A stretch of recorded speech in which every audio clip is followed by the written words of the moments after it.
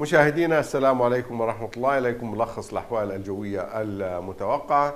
آه، نتوقع أن يطرأ ارتفاع تدريجي على درجات الحرارة يومي الأحد والاثنين لكن الطقس بيكون بارد نسبي أثناء الليل وفي ساعات الصباح الباكر.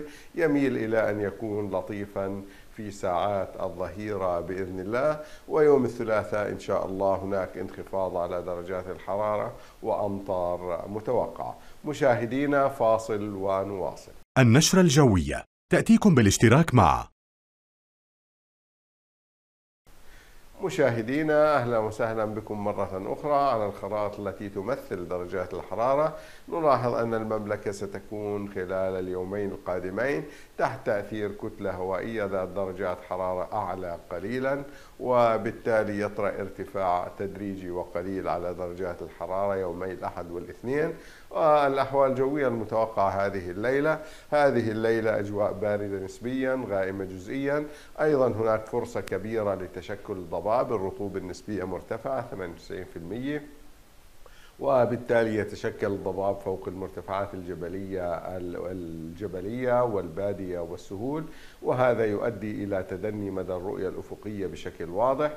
نرجو من الجميع أخذ الحيطة والحذر الأحوال الجوية المتوقعة خلال الثلاثة أيام القادمة. يوم الأحد ارتفاع قليل على درجات الحرارة لتصبح قريبة من معدلاتها في مثل هذا الوقت من السنة. أجواء ما بين مشمسة وغائمة جزئيا نهارا العظمى 15 والأجواء أثناء الليل باردة نسبيا والصورة 7 الاثنين ارتفاع آخر على درجات الحرارة أعلى من المعدل بقليل ما بين 2 إلى 3 درجات الحرارة العظمى 17 وأثناء الليل أجواء غائمة جزئيا وأيضا تتكاثر الغيوم وتتهيأ الفرصة تدريجيا لسقوط زخات متفرقة من المطر والصورة المتوقعة 9 درجات الثلاثاء انخفاض واضح على درجات الحرارة وأيضا آه، تتكاثر الغيوم وتسقط زخات من الأمطار على فترات بإذن الله. في معظم مناطق المملكة. العظمى المتوقعة 14 والصورة 6 درجات مئوية. أما الأحوال الجوية وكذلك درجات الحرارة العظمى والصغرى المتوقعة ففي المناطق الشمالية أجواء ما بين مشمسة وغائمة جزئيا والحرارة العظمى في إربد 14 والصغرى 8 عجلون 17 10 جرش 18 10 والمفرق 17 إلى 7 درجات مئوية.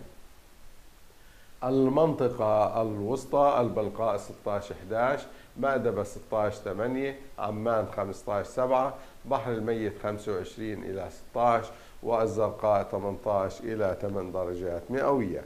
المنطقة الجنوبية الكرك 17 إلى 6 الطفيلة 15 8 الشراه 14 إلى 6 درجات إمعان 18 إلى 8 وخليج العقبة 21 إلى 14 درجة مئوية.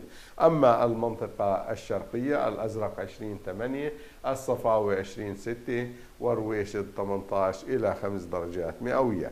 مشاهدينا شكرا للمتابعة. نترككم في أمان الله. النشرة الجوية. تأتيكم بالاشتراك مع